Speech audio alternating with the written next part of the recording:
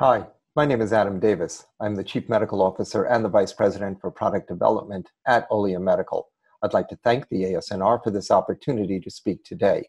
This abstract is entitled CT Perfusion Imaging Using Bayesian-Based Deconvolution Method, Determination of Optimal Thresholds to Identify Core Infarct and Penumbra in Acute Ischemic Stroke. I'm speaking on behalf of the authors. Our disclosures may be seen on slide two. Let's begin this presentation on slide three.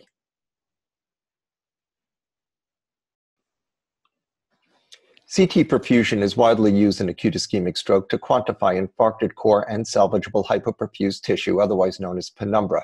Discrimination is achieved by software that tags voxels above or below a specific threshold. Multiple clinical trials have demonstrated its value in patient selection for thrombectomy, particularly in patients later than six hours from presentation. It is important to remember that selection criteria differs among studies and clinicians. However, there is general agreement that identification of penumbra larger than an area of core infarcted tissue is a central tenet of the decision process. Consequently, the methodology and accuracy of perfusion imaging becomes an important component of patient care and outcome. Mathematical convolutional algorithms solve the complex equations that convert the concentration time curves in the tissue and the arteries into meaningful clinical parameters. The residue function is a signal to time function that provides information to determine the most commonly used parameters to identify core and penumbra. Time to maximum residue function, Tmax, cerebral blood flow, CBF, mean transit time, MTT, and the derived cerebral blood volume, CBV. In the last several years, the accuracy and reproducibility of CT perfusion has been questioned. This is due to several factors. The first is inherent limitations of the CT perfusion source data itself. Noisy data in equals inaccurate results out. However, there are also inherent limitations in the CTP software itself. There is variation between software products, lack of a universally agreed upon imaging standard. Perfusion models may not reflect true physiologic processes. Lastly, single value decomposition errors due to noise are inevitable.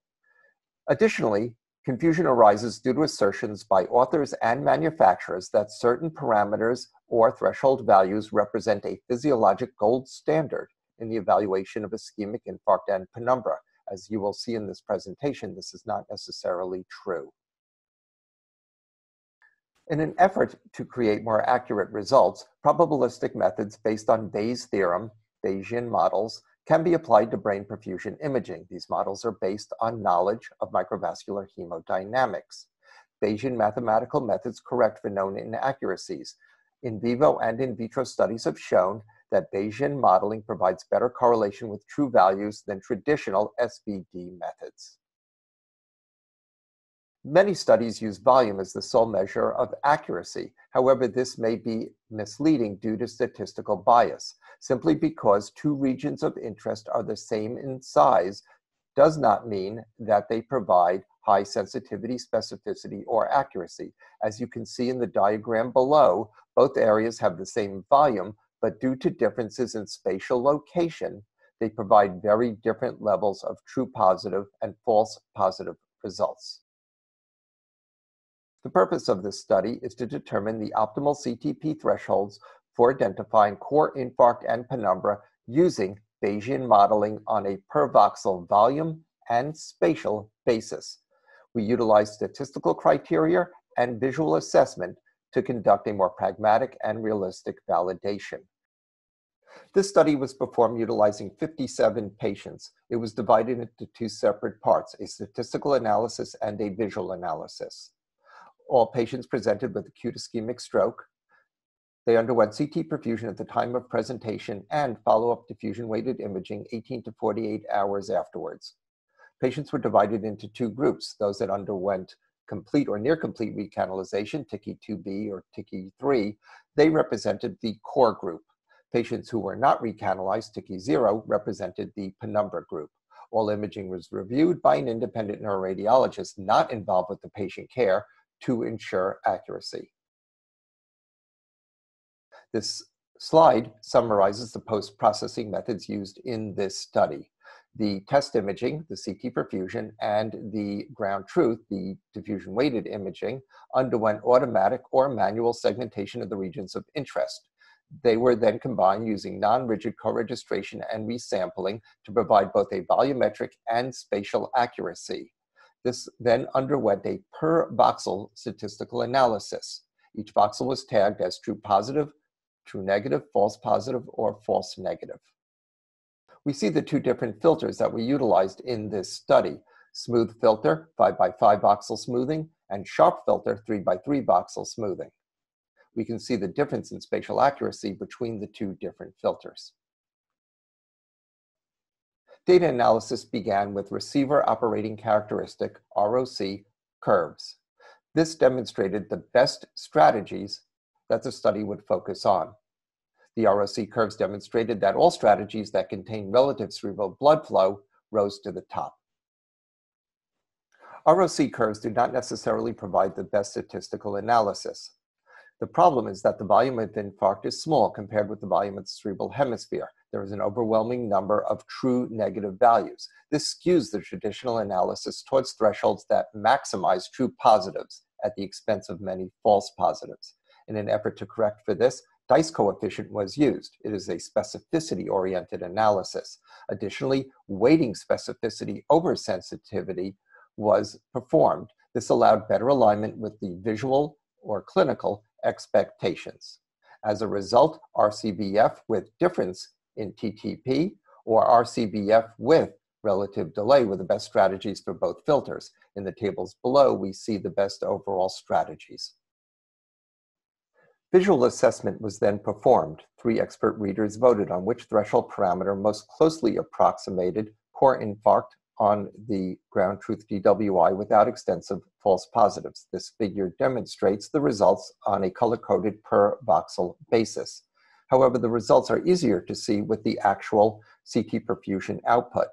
The identified area of core infarct, both true positive and false positive, is juxtaposed with the ground truth DWI. We can see the close volume and spatial correlation between the two with our best determined parameters and thresholds. For smooth filter, RCBF, less than 25% of the contralateral hemisphere, and difference in time to peak of greater than five seconds.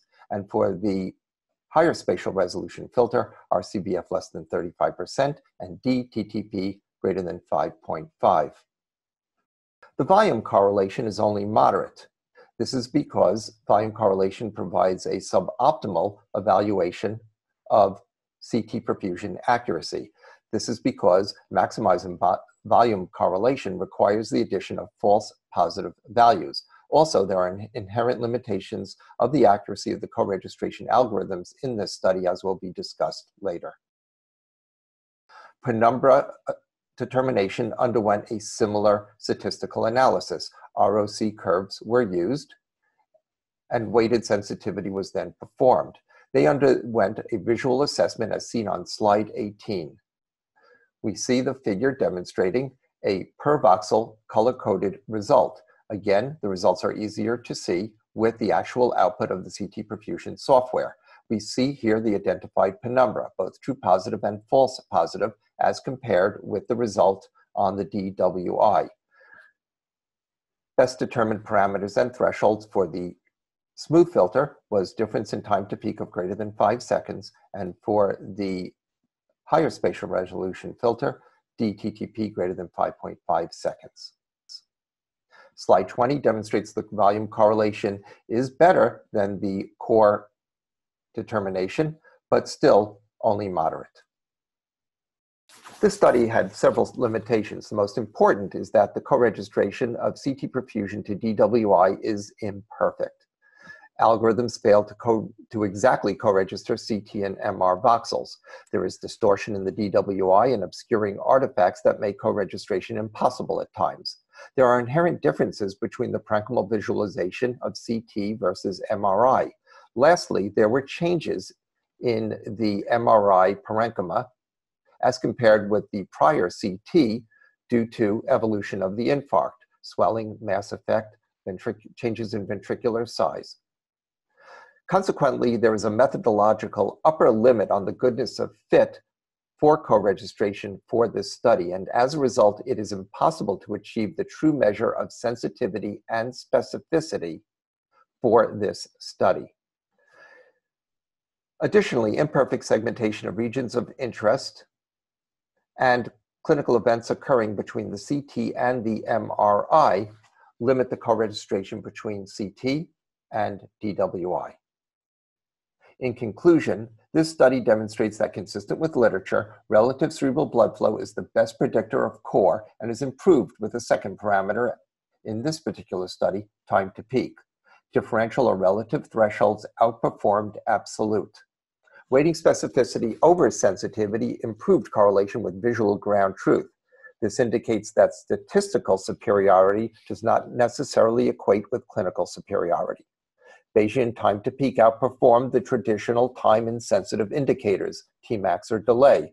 This may be due to a novel influence of Bayesian, Bayesian modeling on the deconvolution method. For core, increased smoothing of data provided statistical superiority, although some loss of spatial accuracy.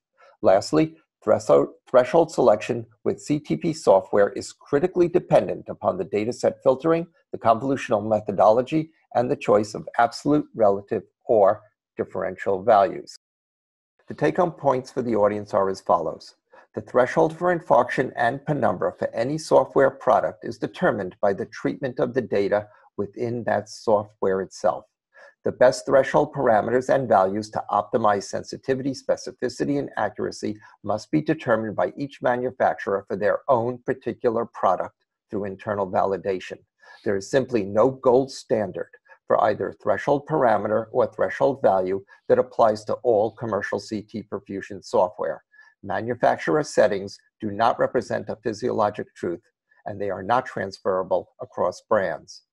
Utilization of software within a clinical trial does not equate with product accuracy or superiority. Lastly, accuracy between software products can only be determined by direct comparison using the same study methods and not by comparison of manufacturer claims. Finally, this study provides rigorous validated threshold parameters and values within a commercial product. This allows for the clinical application of Bayesian modeling for the diagnosis and treatment of acute ischemic stroke. That concludes this presentation. I would like to thank the audience for their time and consideration. I would like to thank my co-authors for their hard work. Acknowledgements and contact information are contained on the last slide. Thank you. Take care. Be safe. Gracias. Merci. Merci. Presque. Shukran. Merci. Gracias. Nandri. Merci.